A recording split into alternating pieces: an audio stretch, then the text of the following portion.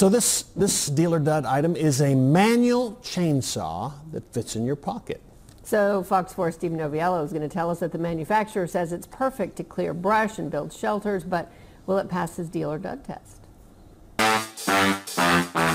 Not, I never seen one like this. The Sportsman Pocket Chainsaw is advertised to be portable and powerful, cutting limbs up to 6 inches in caliper. This one right there. So off to the brush pile where the folks at Fannin turn remnants from removals into mulch. The instructions indicate give your saw a spray of WD-40 before each use. And before you ask why I'm not jumping in with my own arm strength, is there a top and a bottom to a chainsaw? Yeah. That should tell you everything you need to know.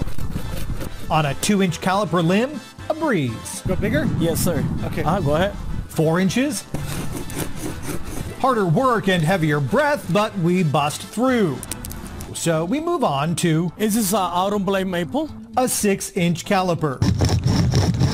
It takes some strength, some resolve, and a little more WD-40 and Right. it's a clean cut. Emergency camping, work hard, make a good exercise, and I got fun. It's called the Sportsman Pocket Chainsaw. What do you think, deal or dud? It's a deal, 100%. Another quick tip for best results, make sure that you hold the chain nice and taut. The real speed here comes from the cut that happens on three sides simultaneously. A link to the manufacturer's website right now on our station website. And when you come see me online, facebook.com slash save me Steve.